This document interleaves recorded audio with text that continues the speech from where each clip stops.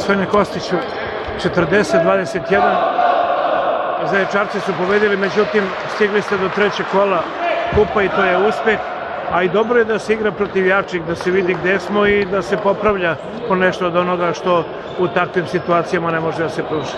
Da, danas je naš domet takav, ovaj, s obzirom na naš kvalitet i na kvalitet ovaj, to super kvalitet ove ekipe koja vidite da je profesionalna, igraju brz centar, ovaj, imaju dobro organizovan napad, imaju odličnog ovog mladog golmana, a još bolje golmana imaju ovog Kocića koji nije ulazio uh, u igru i tako dalje. Znači mi smo se trudili da odigramo kako treba, međutim razlika je tu u tom kvalitetu, snazi, u brzini, kao rezultat toga je znači dupla razlika.